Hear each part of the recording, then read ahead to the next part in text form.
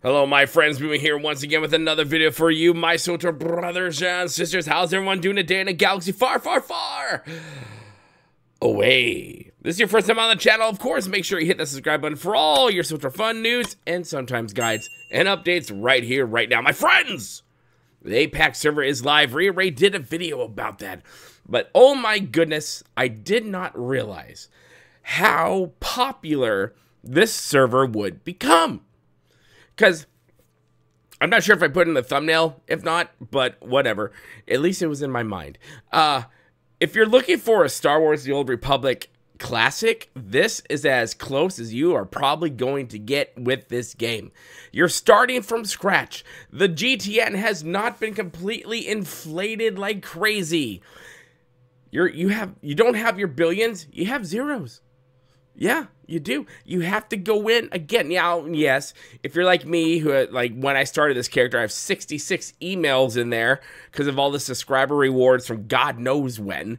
Yeah, you have a little perks here and there, but for the most part, you're starting fresh. Your legacy is zero. And I like that. And a lot of people like that. And so far, there have been lots and lots of people talking about how much they are loving this refreshing uh, atmosphere, this refreshing, nostalgic view of Star Wars The Old Republic. But, my friends, this is again another time this, that Broadsword now needs to latch on to this get the PR machine going and market this sucker like crazy because back in the day when we had a, APAC server and they got rid of it, a lot of people left. I scoured the forums today looking for stuff to talk about and then I saw a comment in the forums that I'm like, dude, I totally agree. So we're going to get into this comment. We're going to talk about it right after. Let's get into it. And Trixie Triss replies to Jackie O, the community manager of Star Wars of the Old Republic. They said, hopefully you guys have already done or are in process of doing what I'm about to suggest. But just in case you haven't, here it goes. I was looking through the old Dalborra server forums. It reminded me of how many loyal fans abandoned SWTOR after BioWare closed the original APAC servers. If you haven't already, it might be a good idea to scrape the old APAC server accounts databases for all the email addresses associated from that period. The same goes for the old Harbinger ones as well. And then send out a promotional email inviting the players back to the new APAC server because so far, word of mouth hasn't been enough to really get out the word. I've spoken to a few old timers who didn't even know there's an APAC server. The first thing all of them said to me, why didn't BioWare send me an email let me know in advance? End quotes. They didn't know it's broadswords now. So, if you really want this server to be successful and not a waste of time, please, please by the gods, send out some emails. The current social media influencers aren't going to be enough because most of the old timers from that period don't even know who they are. Edit. It might also be a good idea to send a separate email first to explain that Broadsword has taken over SWTOR from BioWare, or that may, or they may think it's a scam. Winky face. Trixie Triss, that is a great and brilliant idea. I have a bit of a reach. I know I do. So Teresa has a farther reach as well. I know she just put out a video about this uh, as well. And I know there's not tons of us anymore doing content for this game, but there are enough of us to make a squabble, to, to make a ripple in the pond. Trixie brings up some great points right here. This is another opportunity for Broadsword, now Broadsword, an opportunity for Broadsword to get the marketing in place. Scouring, getting the old emails, it might take some time, but in the long run, when it comes to marketing for a game, which is sometimes in the millions and millions and millions, if not hundreds of millions of dollars, is a lot cheaper. It might take a little bit more time, but it's a lot cheaper. But they bring up a great point. Email the people who left and let them know that yes, BioWare no longer runs Star Wars The Old Republic. It's now Broadsword. And yes, APAC server is now up and running. That would be a great idea, but too many times in the history of this game have has BioWare I'm not going to crap on Broadsword because it's not Broadsword's problem. Well, it well, we'll see how they do with this one, right? But BioWare and EA have been horrible at marketing this game. Now, in the very beginning, of course, they had some pretty awesome looking commercials, but in the but as time went on, and especially you know in the last let's say seven years, marketing for this game has been abysmal. It really has.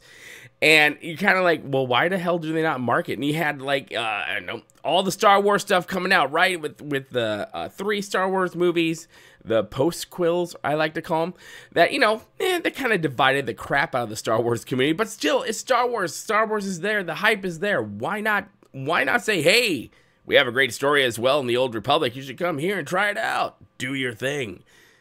They missed a great opportunity there.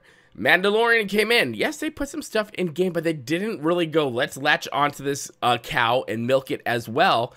And they didn't do it. Another failed opportunity right there. This is another great opportunity for Star Wars The Old Republic. Broadsword, I hope you're listening. I think you might be. I don't know. I'll have to get my people on it. This is a great opportunity for you guys to get in and try to get some of the old players back. There's only so much we doing videos and content can do. It's the other people who don't really watch a lot of like YouTubers and, and podcasts and stuff like that. The normal everyday folk who left the game because like, oh my gosh, I can't even play this anymore, blah. I have no idea what's going on. This is a perfect opportunity to launch a campaign to get those people back. Email so old school, but that is one of the best ways to do it. Another great way, start running some commercials. Do it. Do it on like I saw someone else in the forums talking about going on Icy Veins or MMORPG or well, you can't go on Wowhead. That's completely different. But if you start campaigning and marketing to these websites that have a broader reach to a broader audience, I think that'll bring more people in, especially when we have a brand new server, the APAC server, where things are nice and fresh and kind of like how the old days used to be. Now is the time. I challenge you, Broadsword, if you are listening, and you better be listening. Jackie, I know you watch these. Star Wars The Old Republic, everyone over there. Now is the time to get that PR hamster going on the wheel and get this thing going. Don't miss another opportunity to market this game and bring more people into the game. This is you've got to stop missing the opportunities. This is a great time to do it. And this member right here, Trixie Triss, had a great idea. And I suggest and I hope and I pray to all things unholy that you follow what they say and you go in and you do it. Like I said, I'll continue to broadcast to the roofs that the APAC server is live. Make sure you share this and let your friends know.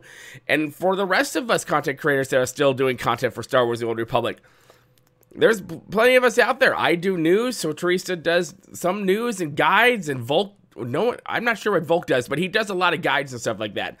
Guys, there are plenty of people still out there in the SWTOR world doing content. Share our videos, let your friends know SWTOR's still here. We have new owners, and we have a brand new server, and things things seem really nice right now, honestly.